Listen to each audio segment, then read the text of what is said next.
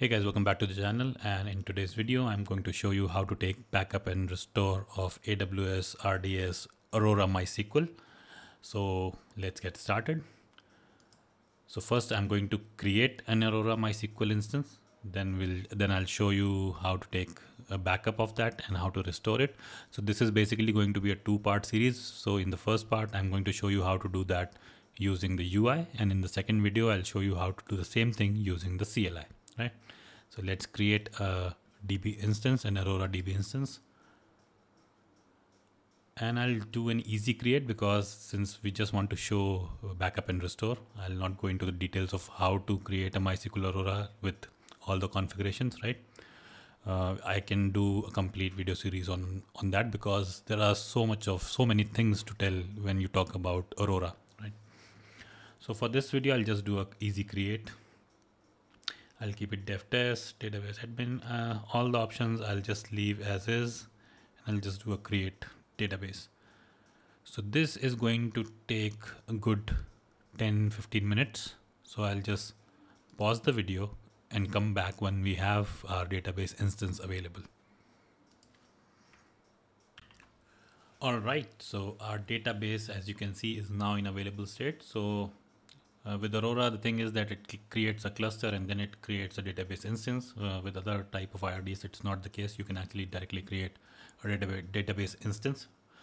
Uh, why is that? Uh, probably this is not the video to talk about that because there are so many things to talk about uh, Aurora. There are so many features AWS offers in Aurora that probably I can do a video series of like more than 10 videos and just talk about Aurora. There are so many features.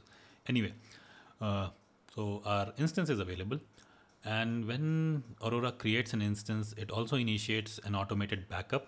So if you just go to automated backups, you can see it has already created an automated backup, right? And this is like right now. But what uh, what we are going to do is we are going to do a manual uh, snapshot and go into action and you just take a snapshot uh, DB instance one and I'll just name it database one snapshot right? And I'll do a take a snapshot. This is probably going to take some time as well because it is in creating state right? Although this is like a fresh DB so it shouldn't take much time but I think it still take around five five minutes. So I'll just pause the video till this snapshot is getting created right? I'm not going to make you wait for five minutes Okay, so our snapshot is now available. So it took what four minutes for this to complete. So since this was a fresh DB, we don't have anything. So now we have an automated backup which was taken. So this actually, uh, I mean, if I talk about little little talk, if I talk little about uh, automated backup, is that it happens during a maintenance window that you define, right? So I mean, and it happens daily. So you you can define a maintenance video, and uh, RDS will basically do a backup of your and these are incremental backups not full backup right? So these are incremental. And then you can take manual snapshots right? Like we have done. All right so now what i'm going to do is i'm going to delete this database. So first i need to delete the database instance and then the cluster. So delete me delete and I'm going to delete the cluster as well. No I don't want to create the final snapshot. So you get this option right to create final snapshot. And if you want to retain the automated backups. So I don't want to retain the uh, automated backups and I don't want to create a final snapshot. I'll just acknowledge.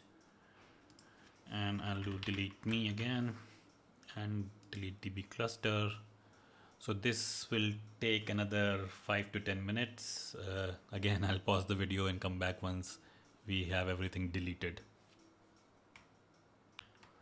All right, finally, so it took close to 15 minutes for these instances to get deleted, right? I think creation took around 12 minutes, deletion took 15, so deletion took more time. Anyway, uh, I mean, the length of this video is probably a lot shorter than time taken to create and delete these uh, clusters. Anyway, let's go to our snapshots now. Now it's time to restore. And we have one snapshot which we created. So we'll just click on this, go to actions, and we will have restore snapshot. All right. We are just going to give it an identifier. So we'll call it database hyphen one hyphen restore. So we know that this has been restored. Rest everything we'll just leave it as is.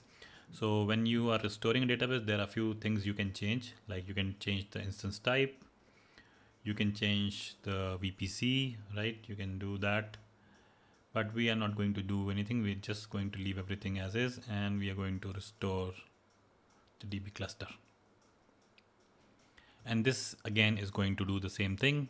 It is going to start a cluster and a DB instance.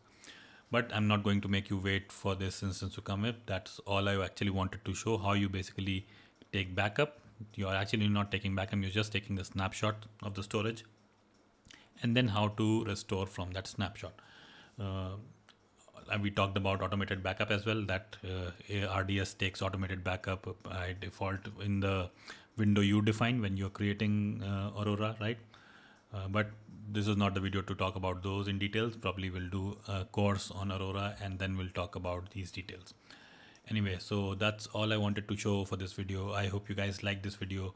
In the next video we are going to do the same thing using aws cli so please do check that out and thank you for watching this one